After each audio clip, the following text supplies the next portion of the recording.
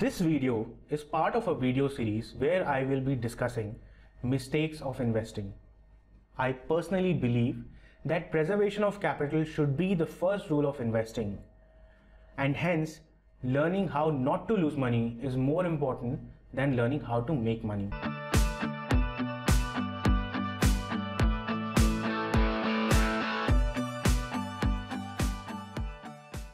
Hello investors, my name is Ujjawal and I'm the founder of Wealth Culture. We started Wealth Culture with the intention of helping retail investors in their long-term investing journey. Over the years, I have personally seen a lot of retail investors end up making losses in equity markets cycle after cycle, basically repeating the same mistake again and again. Wealth Culture intends to foster a culture of long-term investing, thus enabling retail investors to benefit from the beautiful art and science of investing.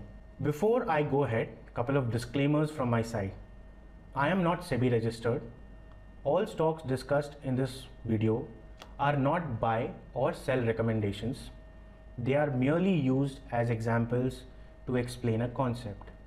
I may or may not be holding positions in these companies directly in my personal portfolio. Also, I want to declare explicitly that all my videos will be focused on long-term investing, which is essentially we are talking about a period of one year at least as holding period. So let's get started. First mistake, which is retail investors buying into good quality companies but at super high valuations and that is called buy at any price investing. Now, how do you identify a good quality business? Most likely, you already know their names. Companies like Pidilite, Page Industries, Asian Paints, HDFC, Kotak fall into that bucket. These businesses have good ROE and ROCE, which is return on equity and return on capital employed.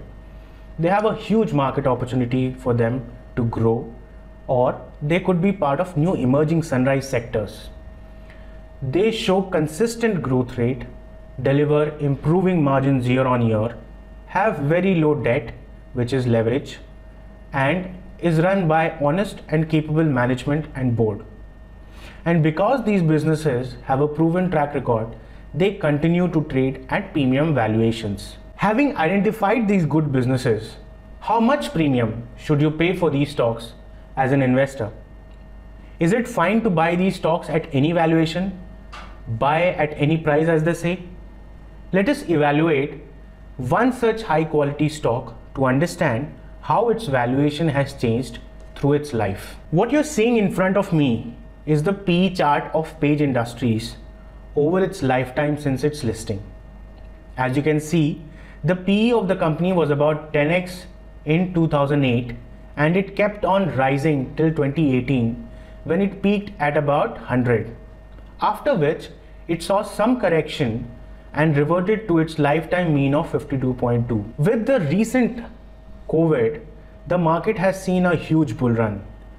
And so has this stock where it has touched a PE of 140 and ever since has corrected also with now trading at a PE of about 100. Post 2015 if you look at, Page Industries has thrice presented, presented us the opportunity to buy the stock at a PE of 50x. Let us now try to understand why you should not be buying Page Industries at a PE of 100x. Now let's look at the chart for example. So in somewhere in August 2018, the price to equity earnings of the company was 100 with an earnings per share of 346 rupees per share, leading to a price of about 34,651 rupees per share. Now I'm talking 2018 August. Come April 2020, the price to earnings of the company has reduced to 50, while the earnings per share has remained in the same range of about 346 47 odd rupees per share. Now this has resulted in the stock price coming down by 50% to 17,356 entirely because of PE compression. PE compression means reduction in PE over a period of time. Come October 2021, the, stock, the stock is now again trading at a PE of 100, while the earnings per share remains continues to remain in the same range of about 300 or 50 rupees per share leading to a price of about 35,000 odd rupees per share. So if you look at the three year returns, the returns have been almost nil. we came back to the same price we bought the stock three years ago, all due to PE compression and expansion, which is the PE from first started at 100, came down to 15, and then again given back to 100. A very good company, right? But nil returns in three years because our entry was at a very high valuation, almost at a PE of about 100. Having looked at this example, let us now look at the maths in a simple way. I am going to discuss four scenarios here where we will talk about movement in price to earnings and EPS, earnings per share, to see how these four scenarios change and which scenario should we be investing in. Now let's say we have a sample company called XYZ. Now this company has a PE ratio of 20 and earnings of 10 rupees per share. So the current price of the company is about 200 rupees per share. Assuming that this is our entry and we are buying 200 rupees shares of XYZ. Now, let's say three years down the line, the PE ratio of this company increases from 20 to 30 and earnings per share increases from 10 to 20. The resultant effect of this is that the stock price is going to increase to 600 odd rupees per share. That means a 3x jump from where we bought the stock 3 years ago. So in this scenario, both price to earnings ratio and earnings per share have increased over the three year period, giving us a super exciting return of 300% over the three year period. And this is the best case scenario you can imagine for yourself as an investor, where you enter a stock and then both price to earnings and earnings per share increase from their levels to give you stupendous results. Let us now look at the second scenario and here we are assuming the price to earnings to remain as it is. So let's say you have found this company XYZ which as which is at a PE of 20 earnings per share of 10 so 200 is your entry price and over a 3 year period the price to earnings ratio does not change essentially PE remains at 20 but the earnings per share of the company has increased to 20 so now your exit price three years down the line is about 400 rupees. We are talking about a 2, 2x jump in the price of the share. Now these scenarios are most of the scenarios will be something like this where the P ratio will not move much or we will be range bound but then you will see the company delivering year on year growth in terms of earnings per share.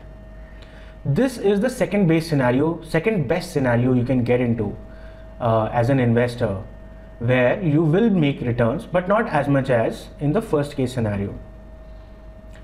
Now let's move on to the third scenario. Here we are actually talking about a price to earnings decline which means in this particular case we entered into the stock at a high price to earnings and over a period of time because of mean reversion the ratio has meanly reverted to its long term average of about 10 but the earnings per share have increased from 10 to 20. So the net net effect is that my entry price and my exit price remain the same. I am entering a stock at 200 and 3 years down the line I am exiting the stock at 200.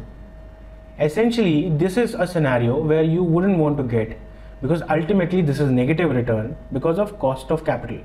You could have invested this money somewhere else to make at least a 7% or 8% return on that money. So net net, this type of scenario is actually a loss making scenario for you. Now let's get into the fourth scenario, which is the most pessimistic scenario one can think of, wherein P ratio reduces from 20 to 10 and earnings per share also reduces from 10 to 5. Effectively, you entered the stock at 200 rupees per share and exited at 50 rupees per share at a huge loss.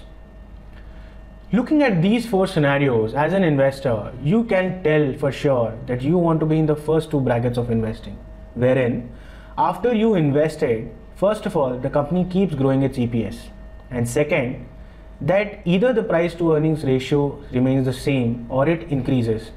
You don't want a compression in the price to earnings ratio as an investor, right? So now, if you are entering a company at super high valuation, be very sure that when you are exiting the stock, the earnings growth of the company would have exceeded the drop in the price to earning multiple and net net you would be in the money when you are selling the stock. In most situations as retail investors we are incapable of predicting what the future is going to be 2 years to 3 years down the line. As conservative investors we always assume a not so good scenario.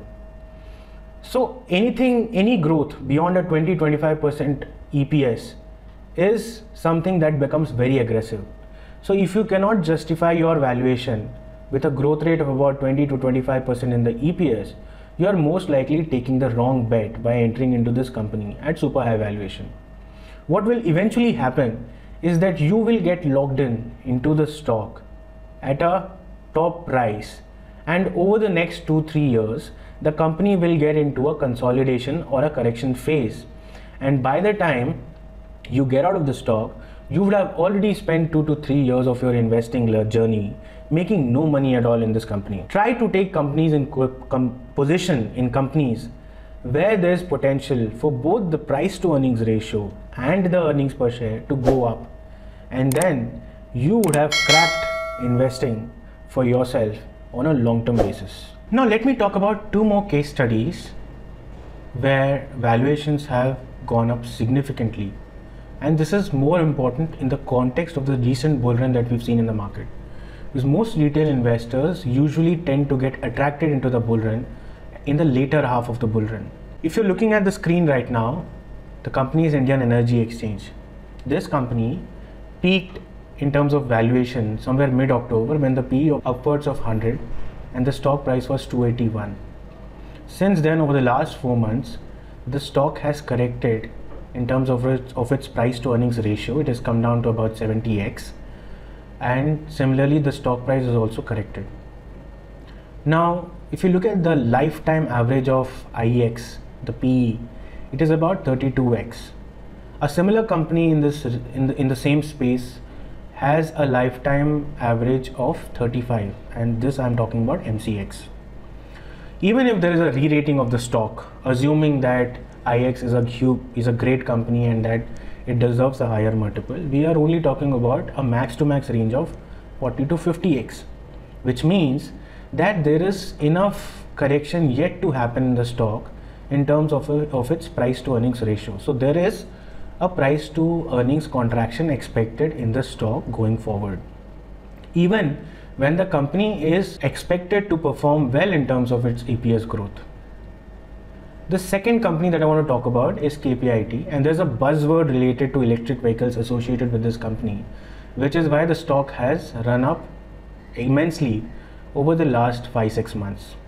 If you look at the uh, peak valuation of the company, which is post of January 2022, it was at a PE of about 90 and a stock price of 745.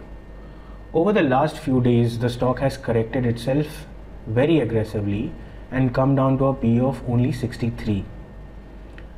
Now, if you look at the lifetime average of this company, the PE is somewhere in the range of 15 to 20x. Well, I could compare this company to TCS as an IT company essentially operating in the same space and the long-term average PE of TCS is about 25x.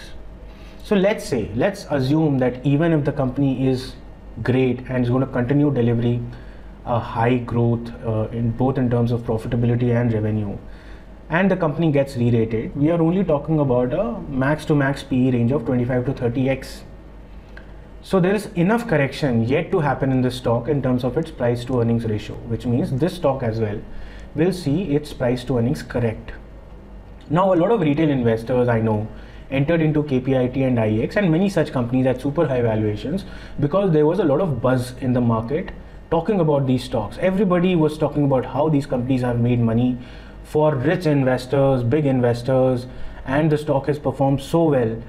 What eventually ends up happening is retail investors get hooked up, or I should say, get sucked into these companies at super high valuations, listening to all of these stories and news in the market. As I end this video, I want to talk about how to stay sane during a bull market. First point is you can check if the valuation has reached insane levels with respect to its price to earnings, with respect to its price to books, compare it with the own history of the company and its peers. and have very solid reason for why the company is trading at such high valuation. In most cases, it is because of herd effect, which means a lot of investors rush to buy the stock, uh, and that gives an ideal opportunity for an institutional investor to exit the stock. So basically, you are getting trapped at a high price while the institutional investor takes an exit, making superb returns on his investments. The second that you can, uh, the second activity that you can do is have a PE range in mind. So even before you invest in the company, make sure that you have thought through and have determined a PE range for the company that you want to invest in. Right? So let's say, for example, that we are looking for a PE range of at least 40 and below to buy Indian Energy Exchange. And so we will stick to that discipline and wait for the PE to come down to 40 and below. Whenever it comes down to 40, we will buy the company aggressively and keep accumulating till then. And in between, we are not going to touch the stock, right? So have that self discipline. Having a discipline makes sure that you are very conservative in your investing approach and at any point of time in the money, which is in the profit. Also what you can do is to just you can have a sense of the future growth rate of the company. So whether 20% 25% 30% 40% you never know. In some situations companies also grow 50 60% year on year for a couple of years. And it is during these times that you can justify a higher valuation but do make sure that you are certain about the growth in this eps because only then you can justify buying a company at a higher pe thank you for listening to this video. I'm going to make a series of videos on mistakes in investing. So do subscribe and like this